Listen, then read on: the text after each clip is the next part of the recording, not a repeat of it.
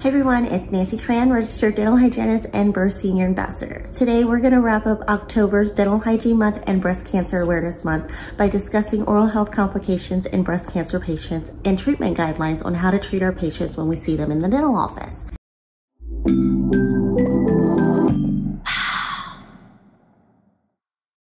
As dental professionals, how much do we really know in breast cancer therapies and how comfortable are we with giving them information and educating patients on their oral health needs? A previous study shows that over 70% of dental hygienists were not confident enough in their treatment protocols when it came to treating patients with breast cancer. Only 13% actually said that they understood the mechanism of action in the medications that were prescribed to breast cancer patients. So hopefully this video will help educate and guide us um, into a better understanding of how we can treat our patients with breast cancer pre and post treatment there are different guidelines in place that are recommended for our breast cancer patients. Um, and that starts with interdisciplinary relationship with our oncologist.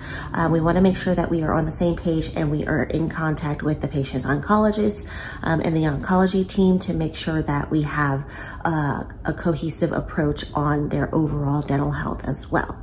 So side effects for different medications, um, play a major role in patients' long-term oral health conditions um, and breast cancer treatments and therapies are recommended and prescribed to patients based on different statuses. And those two statuses are their hormone status um, and their menopausal status. So if you are in premenopause or postmenopause, that actually uh, plays a role in how your breast cancer treatment will uh, play out. So as mentioned earlier, breast cancer therapy and treatment for patients with breast cancer are dependent on two different statuses, your menopausal status and your hormone receptor status. Besides major surgery, your systemic treatment pre and post will be dependent on these two factors. So if you're in premenopause, a patient will be more than likely um, treated with anti-estrogen therapy medications along with systemic therapies such as chemo or um, hormone therapy. Common anti-estrogen therapies such as tamoxifen and hormone therapies, also known as Lupron, this is supposed to help reduce and block the estrogen production so it doesn't allow the receptors to stimulate or signal new tumor growth. So this highly reduces the risk of breast cancer reoccurrence in our patients. Now, if you are a patient that is experiencing postmenopause, postmenopausal patients mean that they don't have estrogen being produced by their ovaries anymore because they're in menopause, but you do still have your body's last attempt to make estrogen and that is in your aromatase um, enzymes. It's an enzyme that is um, that produces aromatase, and aromatase does release small amounts of estrogen. Patients who are in postmenopause and going through breast cancer treatment are often prescribed systemic medications such as AIs. AIs are known as, as aromatase inhibitors. So common FDA AI medications include anastrozole, letrozole, and exemestane. Often these medications are um, combined with a bisphosphonate because AI medications put patients at risk for bone density issues. Um, they lose their bone density and the mass in their bone. So as dental professionals, we are already familiar with bisphosphonates. That puts our patients at a higher risk for osteoporosis. So that's why these medications and understanding the mechanism of action makes a big difference in a dental professional's role in the treatment of our patients with breast cancer. We want to be able to see them back more frequently, every three months is recommended so that we can monitor, assess, and treat any significant oral health conditions. So now that we've discussed the medications, the mechanism of action of our breast cancer treatments, let's talk about their oral complications and side effects that these medications and their breast cancer treatment has. So breast cancer treatments often put a big damper on our patients' oral health conditions. Majority of patients will report that they have dry mouth, along with oral and pharyngeal mucositis, gingival bleeding, gingivitis. Due to patients' immunocompromised bodies, they are also at higher risk for fungal and bacterial infections, including um, periodontal infections as well.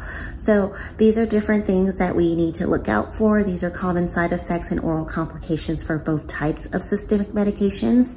Tamoxifen, on the other hand, does have side effects in patients reporting um, increased jaw pain due to bruxism and clenching. And then with patients who have um, AI medications and at risk for bone density changes. Um, we also want to look out for any breast cancer related metastases that can present in the mandible and the maxilla. Um, so these are things to know and that helps us better look out for changes in patients' oral health conditions during treatment.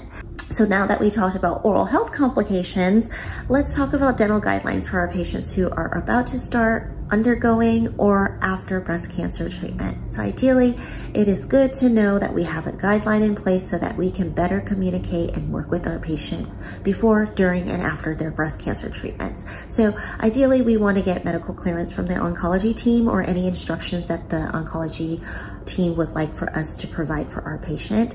This helps us work cohesively together so that we can provide outstanding results during their entire treatment process.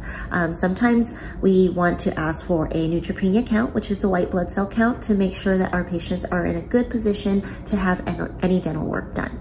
Also, sometimes patients who are receiving chemotherapy or any um, intravenous treatment through a port cath or intravenous cath will, uh, will require a pre-med. So the pre-medication will help reduce any risk for having any um, infections due to being immunocompromised.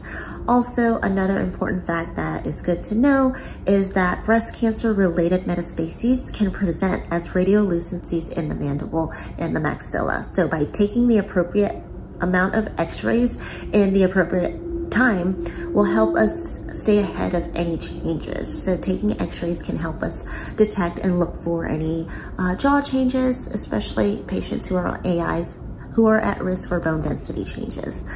Patients who also have had any lymph node removed from their underarm, the axillary area, are at risk for lymphedema. So it's good to know that in the dental office, if a patient is getting ready to have a procedure done, that we don't take blood pressure readings on the arm that the patient has had lymph nodes removed. So we don't want to put them at risk for having any lymphedema. And um, sometimes dental offices will still do traditional blood pressure cuffs. So it's good to know to do, do either a wrist cuff or take the blood pressure cuff on the other arm. Hopefully this video will help dental professionals and breast cancer patients who are undergoing any therapies to know what to look out for, to feel more confident in their treatment, and to be more hands-on when it comes to uh, dental care in the office for breast cancer patients. So if you have any questions or if you have any comments regarding uh, breast cancer treatment and oral complications in the dental office, if you have experienced anything different than what I've talked about today, I would love to hear about it in the comments. Please subscribe to our channel for any future videos and segments. Thank you so much and have a great day.